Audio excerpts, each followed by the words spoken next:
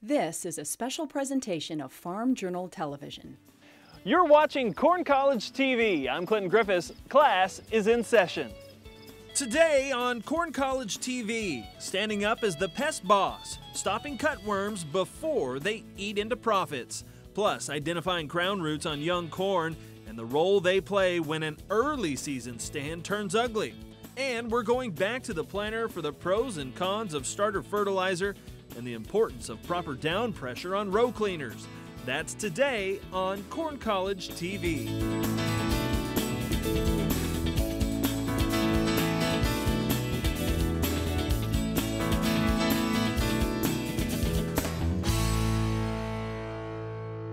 Thanks for watching Corn College TV. All right, the crop's in the ground, the corn's starting to come up. You wake up for coffee and look out your window, and it looks like big chunks of your field have gotten a haircut. Today, Missy Bauer becomes our pest boss as we go scouting for cutworms. The importance of the pest boss this time of the year is to have someone on your farm that's in, in charge of making sure that things are being scouted and looked at on a timely basis. So that pest boss, early in the season, one thing we recommend doing is some moth uh, traps what we do is put these moth traps out looking for certain uh, moth flights, stick a small pheromone in them which will attract one. This one, for example, that we're going to talk about today is black cutworm. So these black cutworm moth traps go out uh, early in the spring, uh, depending on your area, uh, but as soon as things start to warm up. We'll put these out and then just monitor on a, on a every couple day basis what kind of moth flights we're getting in these traps. And based on that, once we see a peak moth flight occur, we're going to go ahead and start tracking the heat units. A lot of insects are very heat unit based. So black cutworm in particular, uh, we start monitoring uh, those heat units.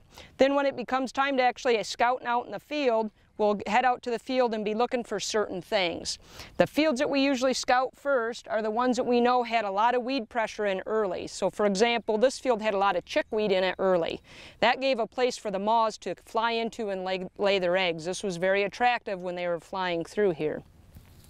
Once they, they've done that, we get out here from a scouting perspective now. As we're walking through the fields and doing our stand counts, we're going to look for plants that start to have this wilted look to them or have actually been totally cut off.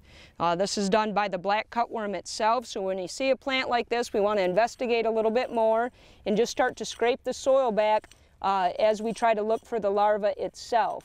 So as you can see, this plant here has been totally cut off and we'd just go ahead and kind of pick through the soil here and see if we can find any of the larvae in here. The larvae themselves uh, will vary in size depending on the time of the year. I'll get a selection here of some kind of medium to larger sized ones that we found in this particular field. Once you're doing your scouting as far as looking for the amount of plants that are damaged uh, or cut off, that threshold is only 3 to 5% in most states. So if you're getting that 3 to 5% cut, plus you're finding the actual larvae themselves and identifying the stage on these larvae, that'll give us a good indication to how much longer they'll be feeding out here. So if we get to that threshold, then we'd go ahead and pull the trigger and spray this field. So this is a pretty important and very, very timely thing that we do need to be scouting for uh, out in our fields early in the season. Here are some more examples of what we look for in the field when we're scouting for the black cutworm damage. You can see this particular plant here has been cut off a while ago because he's actually started to regrow. So that still gives us an indication that he was cut, but he's actually started that regrowth process, so that's happened a little bit earlier. Here's an example of one that's been cut very recently because the plant's just starting to wilt, but you can see that he actually has cut this uh, basically totally off. So it's different than our first example we had showed where we could see the plant was still attached but it was wilting. This one's actually been cut off totally. Here's another example, and we see this happen a lot out in the field. After they cut the plants, a lot of times they'll pull some of that green tissue down into the soil. During the day, they, they like to sit down in the soil where it's cooler and then they'll feed on these plants that they have cut. So it's very common to find them down in here. So once you see some evidence of like this, of the damage, you want to go ahead and try to do some digging here where, where you look underground and see if we can find the actual larva itself.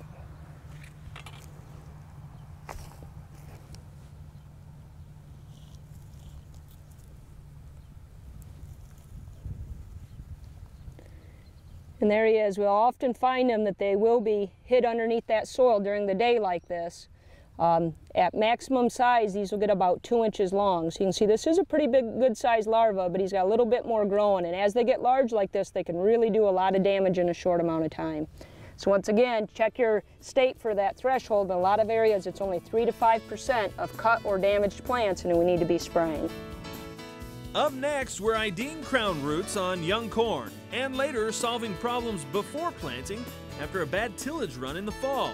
Plus, we're answering your questions about when a good crop goes bad, the ugly corn period, when Corn College TV returns.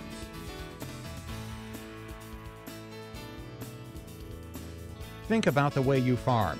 The Enlist Weed Control System is a proud supporter of this program and forward thinking growers everywhere.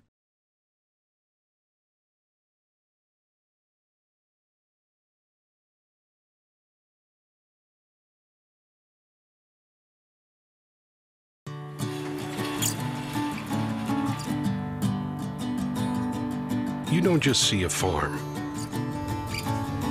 You see a common bond. That's what we're working to protect. Enlist is a new herbicide-tolerant trait system that will build on glyphosate, improving performance to move farming ahead. Hi, this is Mark Gold with Top Third Ag Marketing. I have just issued a free workbook on marketing in the top third. This book contains all the major principles from my marketing seminars. And Top Third wants you to try an option at our expense. Included in the book is a coupon good for up to $150 in premium, plus we'll pay the commission and fees. We want you to learn how options can help you become a better marketer.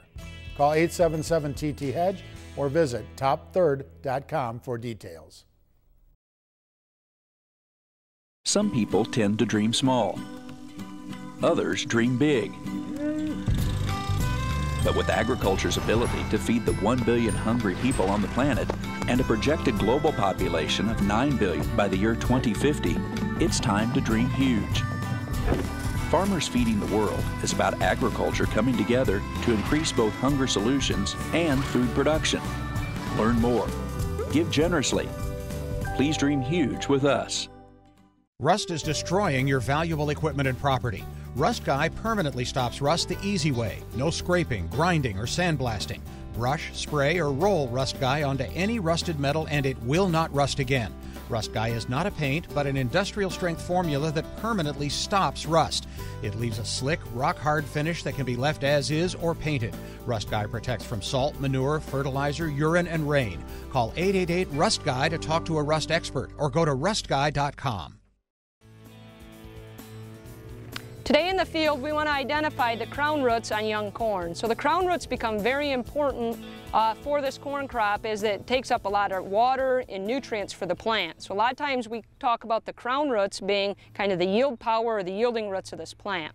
So it's important to understand how these crown roots are developed, being able to identify them, and then as we get later in the year, try to identify whether or not they're growing down at their natural 35 to 40 degree angle or if they're being turned.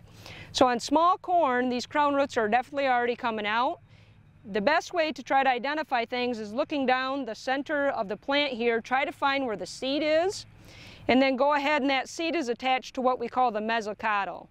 At the end of the mesocotyl, it's attached to the crown of the plant. So that I go ahead and I snap that mesocotyl off, you can see the seed and the seed roots. So we kind of get that out of our way. These seed roots are very important in the early stages of this plant. It'll live off these seed roots as well as what's in the seed until it gets to about this V4 stage. And then it starts to make this transition over to living off these crown roots or nodal roots. So we go ahead and take that out of there. Again, look back down in the center of here where all these roots are coming out of is, this, is the base of the crown. So the first roots that come out of here are what we call our first set of crown roots. So I'm holding right here are part of that first set. We call them a set because there's typically about three or four of them going around the base of this crown. After that, the second set starts to come out. So these roots here are part of that second set of crown roots, and you can see that there's about four of them around this plant. After that, we'll see that the third set will start to come out. So on this plant, this is a V4 plant, where we can see that we've just started to put our third set of crown roots out. So as the plant develops and gets older, we get more of these crown roots coming out. For example, here was a V1 plant where we could see that the crown roots were just getting started to come out on that first set. Here on a V2 plant, we actually have all of this first set is out. So as these plants develop, more of these roots come out. We're going to typically have three to four sets of these crown roots. Once we know how to identify them, as we get later in the season, we want to see how well these are growing uh, down through the soil. They should be going at that 35 to 40 degree angle, and if they're not, if we see a lot of them coming down and turning like we have in this example here, that tells us that we had something restricting that. Uh, so we want to look at identifying that as the season progresses. When we come back, Missy Bauer takes your questions on why good corn may get ugly early in the season. And later, the pros and cons of starter fertilizer. Plus, finding the proper down pressure for row cleaners. When Corn College TV continues. Get harder working leaves and higher performing crops from your foliar application with Ratchet with LCO promoter technology for corn and soybeans.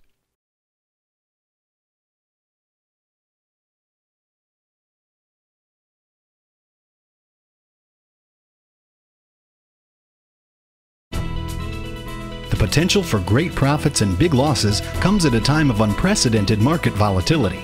If you need help managing risk on your farm, turn to a source you can trust. Turn to Bob Utterback. In the business since 1981, Bob works with producers, feed buyers, and speculators all across the country, and he and his staff want to work with you. Call Utterback Marketing Services today to learn how you can build a plan to achieve your marketing objectives for 2011 and beyond. The secret to finding more buyers for your cattle is no longer a secret. CattleExchange.com is like no other site. It brings the greater ease of use, detailed information, and searchability found in sites like Cars.com and Autotrader.com to the cattle industry. Upload photos and video to attract more buyers and share greater detail in your listing. Cattle buyers and sellers are connecting in ways they never imagined. Go to www.cattle-exchange.com and discover the secret to better selling. Confusion, doubt, fear, forces that drive the markets in unpredictable ways. It would be nice to find a voice you trust, a broker with an impeccable compliance record, someone with global contacts and expertise, a sought after speaker who simply tells it like it is. All that with 30 years of experience navigating these markets. Someone like that would be quite a find. Bauer Trading. Experience at work for you.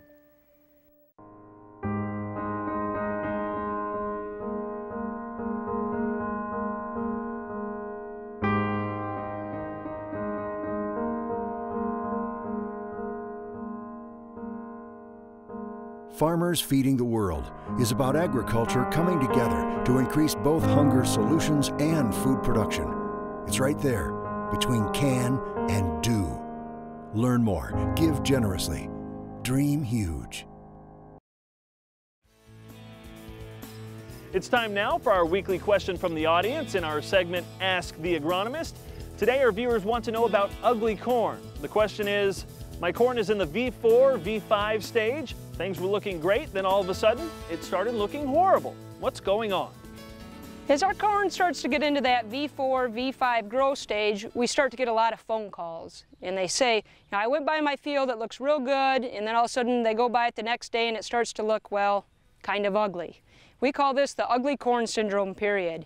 What's happening as these plants are changing from the root systems of living off this seed and these seed roots to actually living off these crown roots here, if we don't have a good establishment of our crown roots as this plant makes that transition over, it's going to look ugly for a little while. If we've got nice healthy crown roots, it's going to make that transition and you're never going to notice it. The example of what we had here is a plant that really wasn't very established as far as its crown roots as it's starting to make that transition. This is a four-collar plant, as is this one, but there's a huge difference in the growth of these plants as well as the crown roots themselves. So in this example, we have an, a restriction on the crown roots themselves that they're not growing very well that we can see down here as well. We dug up this plants and in this particular strip in the field, we've got some serious soil density layers and com compaction issues out here. So we can see that we've got things that are restricting this crown root development. They're actually coming in and growing sideways instead of growing down. So when we're making this transition to them, we're not in very good shape and it's going to go through this ugly corn syndrome period. Again, if we've got healthy roots, good crown roots, when it makes that transition like we have back here behind us, we won't really see the effect out in the field. And now we know. Earlier I caught up with Missy for a quick conversation on getting this crop off to a good start, but is it worth the cost? the pros and cons of starter fertilizer. Missy, one of the things that we debate a lot when we begin uh, the planting season is whether or not we should use a starter fertilizer. Uh, tell us what we need to know about that. Well, we think that starter fertilizer is very important. There's a lot of advantages from starter fertilizer. A lot of times we'll see that we'll get that early growth response from using it, as we see in this example here, where we've got starter fertilizer on this plant and we don't have any starter on this oh, plant. Oh, right. So sometimes we can see some really big advantages in that early growth. It will be environment based. How cool is it? How wet is it? The bigger response that we're going to get to the starter fertilizer. Okay, now what about disadvantages? Are, are there any? Certainly there are some disadvantages to starter fertilizer. The biggest thing is probably just trying to do it on the planter, trying to carry the starter itself, trying to have the attachments on the planter to be able to get it uh, placed properly. So there's a lot of uh, people that struggle, especially as the planters get bigger, uh, to try to keep the fertilizer, starter fertilizer on the planter. Now what about maturity of the plant? It's got to help it take off and grow faster. That's correct. Like you can see here, you know, in these two plants where we have starter versus no starter, it's already got an advantage in maturity. This is a V4 plant, this is a V3 plant. So it's already got that advanced in maturity and we'll see this advancement in maturity continue all the way along. We'll see that this tassels on this plant will come out maybe five to seven days earlier than what we have on this plant. So we do see an advancement in maturity, which at the end of the year means drier corn. So we do see a lot of advantages of that as well. Okay. Um, so what else do we need to know as we go through uh, trying to make this decision? Well, one of the things that we get a lot of questions about are from people that have high soil test levels of phosphorus. So phosphorus is part of that starter fertilizer we're looking at. They say, well, I've already got a lot of phosphorus in my soil. Do I really need to put any more on? Right. But what we find with phosphorus is that it's just not very available early in the season. So when it's cool and when, it, when it's wet out, we don't get good phosphorus availability. So we can have very high levels in our soil, but we can't get it into this plant. Okay. So having a little bit of starter fertilizer on there is important. So some of the components that we look at with starter fertilizer is going to be nitrogen mm -hmm. and phosphorus, of course phosphorus being you know one of the most important things. And then also we look at zinc. So okay. those are the three main things that we say should be in our starter and then you can always look at other options as far as potassium or sulfur. Still to come, running the right down pressure can pay off all season long. Ken Ferrie gives us a few tips on what to look for.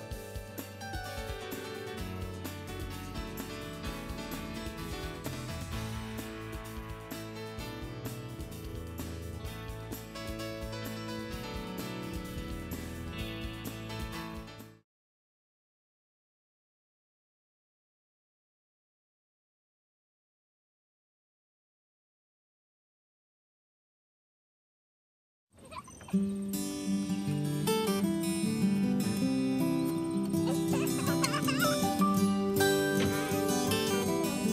don't just see a field. You see the future of your operation. One we're helping you protect. Enlist is a new herbicide-tolerant trait system that will build on glyphosate, improving performance to move farming ahead. Hello, I'm Mike Flores, and I want to help educate you to become a more successful trader. Open an account at Flores Trading, and you will have access to PFG's free library of online tutorials which explain how to use futures and options as well as trading methods you can employ. At Flores Trading, you always receive free live quotes 24 hours a day, and you can trade the markets right on your own computer. You can open an account online in five minutes with no paperwork. To get started, just call the number below.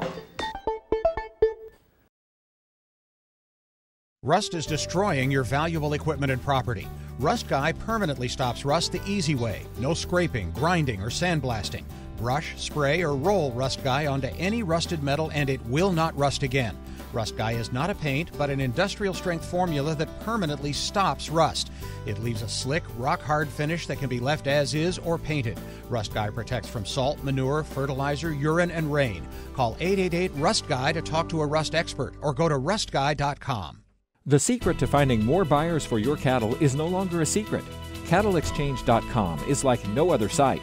It brings the greater ease of use, detailed information, and searchability found in sites like Cars.com and Autotrader.com to the cattle industry. Upload photos and video to attract more buyers and share greater detail in your listing. Cattle buyers and sellers are connecting in ways they never imagined. Go to www.cattle-exchange.com and discover the secret to better selling. Kenner row cleaners can have a big impact on what the seed bed ends up looking like after we've run a planter through here. Talk to us about what we've seen in, the, in these two passes here. Well, what we're looking at here is a function of down pressure actually and what that does to the row cleaner. So in this case, the uh, this row has what we'd call the right amount of down pressure. I don't want to move a lot of the soil, and these are tougher conditions we're planting in today. So I want to keep the dry soil on top and plant into the moist soil below. This row, we're doing the same thing. this row, we're doing the same thing, but we've increased the down pressure on the row unit beyond where it needs to be and that puts uh, downward pressure on the row cleaner, makes the row cleaner aggressive as well. We can tell that here by the amount of soil that we're moving. So the row cleaner is moving that good soil that we wanted to stay on top of so we could plant into the wetter soil down below.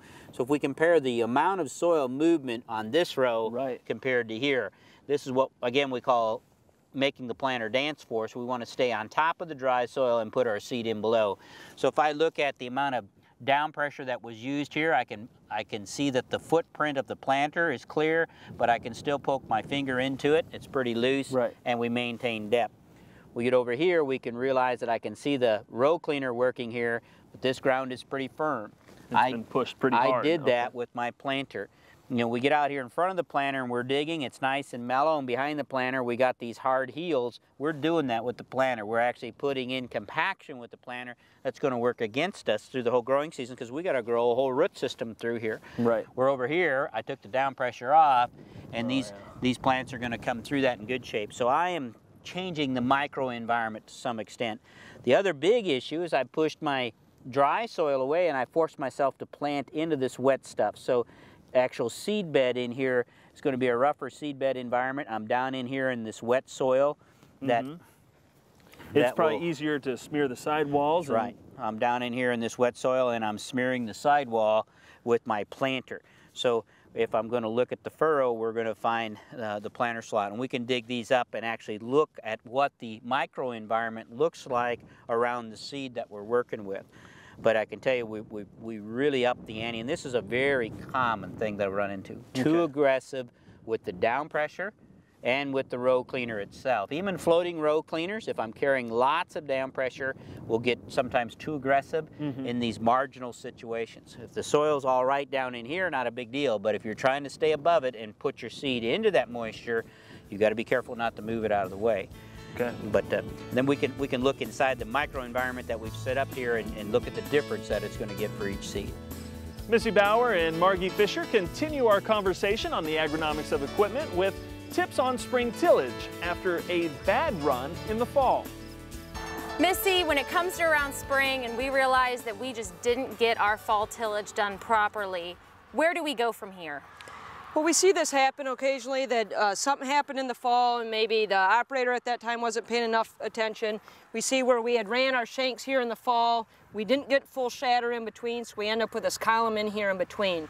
So if our normal program was to come in here with a vertical tillage leveling tool to knock this off and plant, I would have con some concerns about that because a lot of times we're going to be having the planter bounce over here or plants trying to grow into where the soil is very firm in these columns versus loose here. So if we get out to the field in the spring, getting ready to do our leveling pass, we identify that this has happened, we're going to need to make an adjustment. And what I would recommend here is that we'd actually look at going back maybe to a horizontal uh, tillage pass instead of a vertical one to get this leveled up because I want to try to protect the seed bed. So what we can see on this other side of the pit where we've actually done this is we've ran a soil finisher to get this leveled up here. Um, although it's going to still put in one of these density layers that we've talked about Sure. several times, at least now I know I've got a good seed bed to be able to actually plant into. Okay, and how would you define this as, as a good seed bed? From the, from the point of view that we don't have these columns like we did on this side that came all the way up, so as my planter rides through here, my planter's gonna ride through here uniformly, it's not gonna be bouncing. So when it comes to things like uniform planting depth and setting my down pressure, and even the spacing in the plants itself uh, from from how it's coming out of the seed tubes, we're gonna see a lot more uniformity here. So this is gonna lead to a good solid ear count. And I would take this good solid ear count, even though I know I got it on a density layer, versus over here where we would have a real poor ear count. So it all has to come back to my ear count. Sure. Thank you, Missy. All right, good stuff.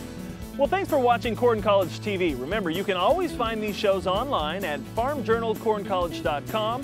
And here's what's coming up next week on the program.